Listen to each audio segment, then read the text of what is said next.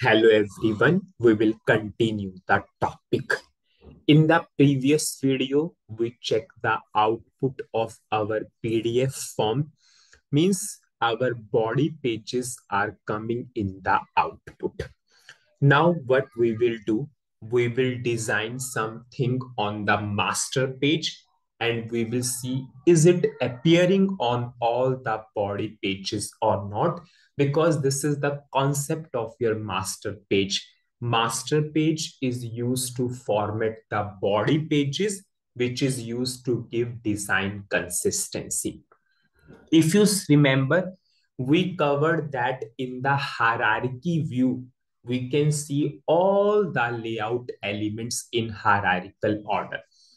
If I will simply close this body page, if I will simply close this master page, so we can see we have two pages, master page. This is your body page. And inside this body page, we have so many, we created six subforms.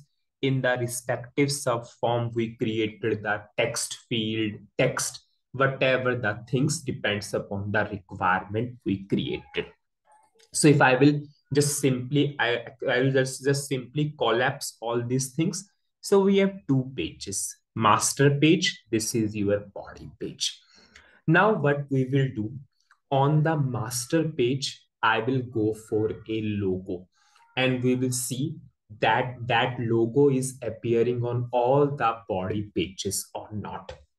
And in this video, how to go for graphics in the PDF form, that part will automatically cover. So I have a logo on my desktop and this logo we will display. And we want this logo on all the body pages. So i will take or i will take this logo on the master page so that it will appear on all the body pages. Now it is very easy to go for a graphics or logo in pdf form. If you remember in smart form what you did Firstly, we have to upload the graphics into SAP through SE78. Then we have to create a graphics in the smart form and we have to pass the name there. Here, it is very, very easy. There's no need to go to SE78, nothing. Here itself, we can upload directly. So I will simply select the master page. Now inside this master page, I will simply go for insert, standard, I will go for image.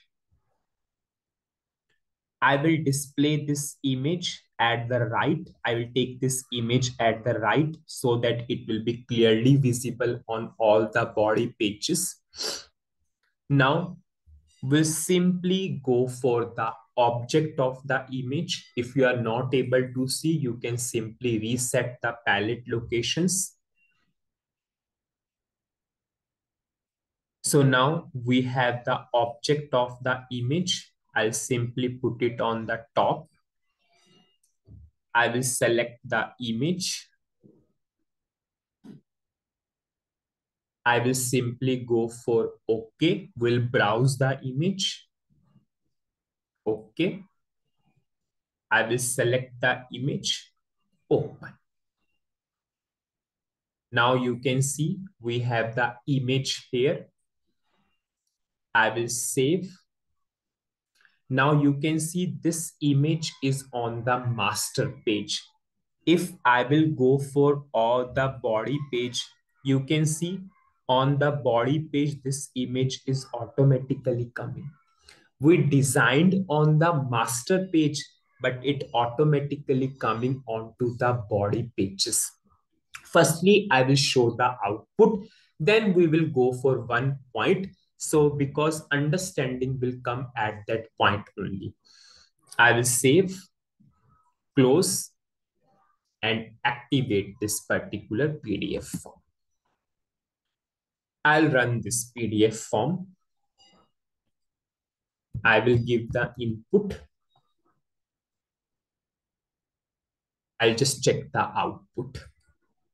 You can see we created the image on the master page. It's automatically appear on the body page. We see we saw the preview.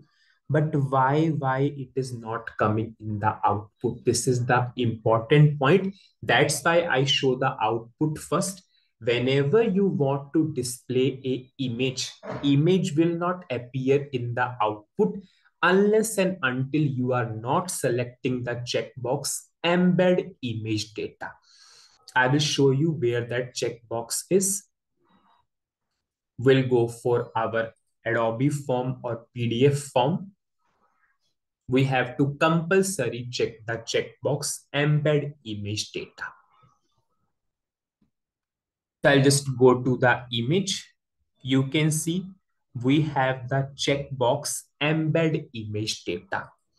If you select this checkbox, after that only your image will display in the output.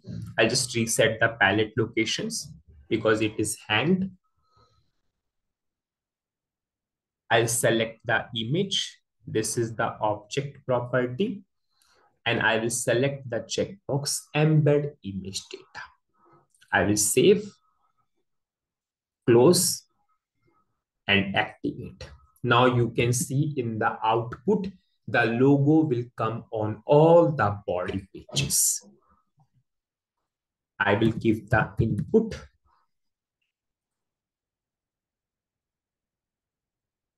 If I will show you the output, you can see we have the logo on the first body page. If I will go to next page, you can see we have the logo on next body page.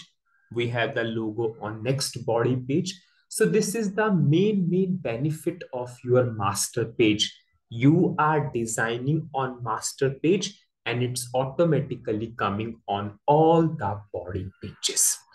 Now we will go for one more thing we will display the current page number and total page number on the master page and it will automatically appear on all the body pages.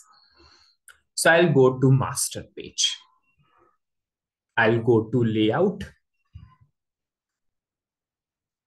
And we will go for now current page and total page number here.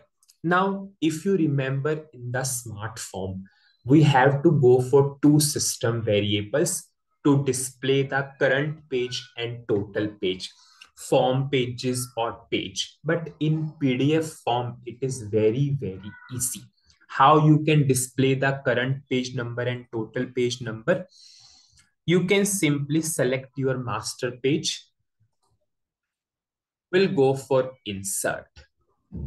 We'll go for custom and you can see we have a particular thing page n of m.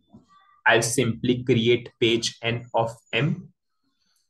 I will just move it to the right so that we can see it clearly. So on the master page we are creating page n of m so that it will appear on all the body pages if I will show you the body page, you can see page N of M is automatically coming on the body page. I will close and I will activate. I will run. I will give the input and I will show you the output. You can see page 1 of 4. If I will go next, page 2 of 4, page 3 of 4, page 4 of 4. So it's automatically appearing on all the body pages. So what we learned in this particular video, we designed one logo, we it took one current page and total page number on the master page and it automatically appear on all the body pages. This is the main, main benefit of master page. If you think in the project that this thing is common on all the pages, always take it as a part of master page. It will automatically appear on all the body pages. So that's it in this particular video. Thank you.